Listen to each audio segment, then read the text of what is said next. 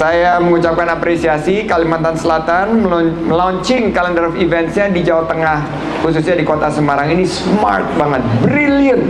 Kenapa? Karena ini menjemput bola. Tadi ada tabletop, Pak Kadis cerita, ada penjualan para pelaku parekraf dan ini merupakan bagian daripada pergerakan wisata Nusantara yang ingin kita dukung ke depan. Saya melihat potensi wisata ada di Kalimantan Selatan, wisata alam ada, wisata budaya ada, wisata religi.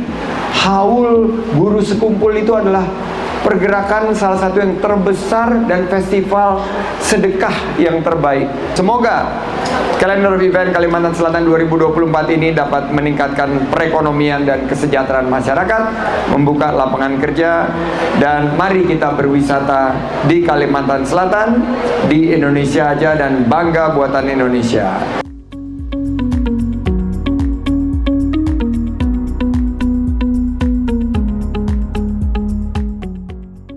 Mudah-mudahan kegiatan ini membawa keberkahan dan kebahagiaan untuk warga kota Semarang. Semangat semua.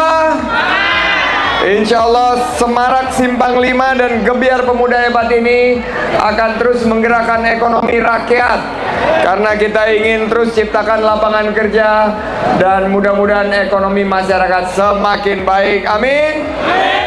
Ikan hiu makan tomat. Warga kota Semarang, I love you so much. Terima kasih.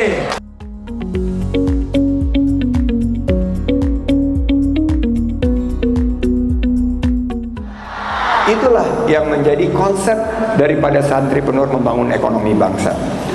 Dan terakhir, apa yang dibutuhkan oleh bangsa kita? Pemerintahan yang bersih, bebas korupsi. Santri harus mampu mengambil peran untuk menjadikan Indonesia sejahtera, adil dan makmur, baldatun, toibatun, ghafur.